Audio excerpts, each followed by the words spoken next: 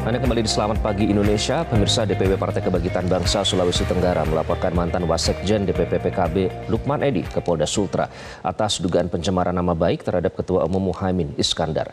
Ketua DPW PKB Sulawesi Tenggara Jailani mendatangi gedung Ditreskrim Sus Polda Sultra untuk melaporkan mantan Wakil Sekretaris Jenderal DPP PKB Lukman Edi ke Polda Sultra. Lukman Edi dilaporkan atas dugaan pencemaran nama baik terhadap Ketua Umum PKB Muhaimin Iskandar. Jailani menambahkan pernyataan Lukman Edi yang berisi informasi yang tidak bisa dipertanggungjawabkan kebenarannya berpotensi merusak citra dan reputasi Partai Kebangkitan Bangsa.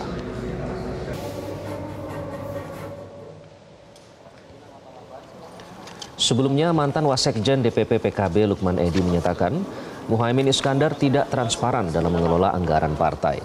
Hal ini pun memantik reaksi keras dari para kader PKB. Masukan laporan kita terhadap eh, Lukman Edi, Pak Lukman Edi yang eh, terkait dugaan kasus eh, fitnah dan pencemaran nama baik terhadap PKB dan termasuk ketua umum kita Pak Muhaimin. Makanya memang tentu setelah kita melakukan proses pelaporan selebihnya menyerahkan ya kepada proses Jelajahi cara baru mendapatkan informasi. Download Metro TV Extend sekarang.